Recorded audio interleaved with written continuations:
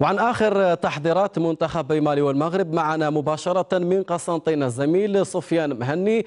سفيان يبدو أن أيضا مدينة قسنطينة وملعب الشهيد حملاوي سيحتضن أيضا النصف النهائي الثاني في هذه المسابقة. ما هي آخر المستجدات عندك قبل هذه المباراة؟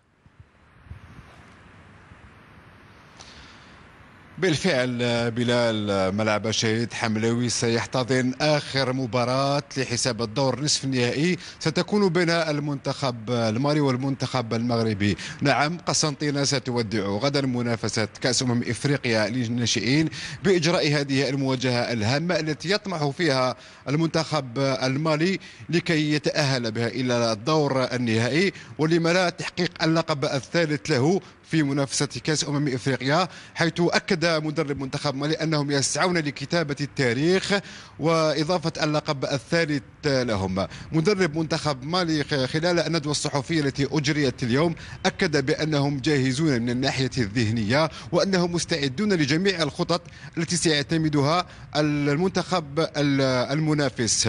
آه، نعم الهدف كما قلنا آه، هو التتويج باللقب الثالث هنا من الجزائر. فيما يخص برنامج المنتخب نعم. المالي فإنه سيجري اليوم آخر حصة تدريبية له بداية من الساعة السادسة والنصف حيث سيضع فيها آخر اللمسات ويرسم فيها معالم التشكيلة التي ستدافع عن الألوان المالية غدا بملعب الشهيد حملاوي. قسنطينة كما قلت ستودع المنافسة نعم ولكنها ستكون مقبلة.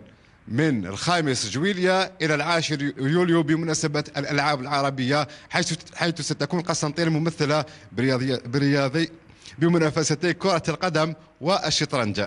نعم سفيان شكرا جزيلا لك سفيان مهني كنت معنا مباشرة من ملعب الشهيد حملاوي بقسنطينة.